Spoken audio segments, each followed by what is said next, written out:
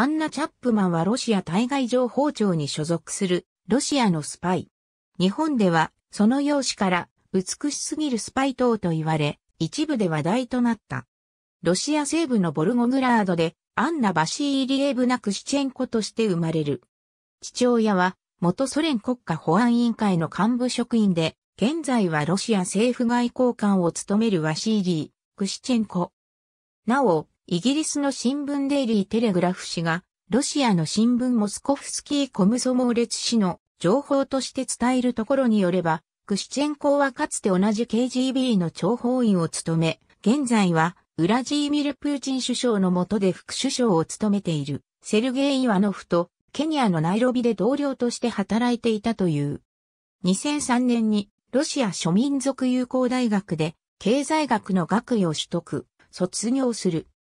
ただし、学歴については様々な情報があり、元夫のアレックス・チャップマンは、アンナはモスクワ大学で経済学の学位を取得したと証言している。大学卒業後は、イギリスの航空会社、ネットジェッツ、ヨーロッパや投資銀行のバークレーズを経て、ヘッジファンドのナビガートのマーケティング部長として勤務しているが、イギリスメディアではこの期間も諜報活動を行っていたのではとの見方が出ている。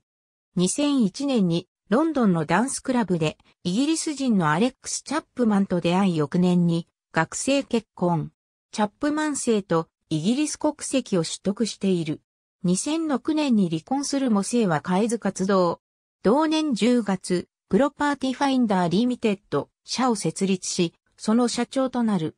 2007年7月から2008年3月、投資会社 KIT Fortis Investments の副社長。退職後、モスクワに戻り、ベンチャー企業の経営、支援に従事した。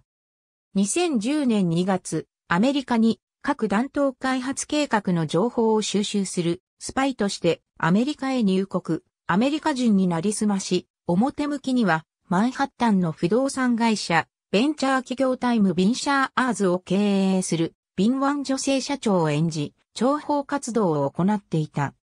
FBI のおとり捜査員が接近したところ2日以内にモスクワへ逃亡する意思を示したため2010年6月27日、他の9人のスパイと共に一斉検挙された。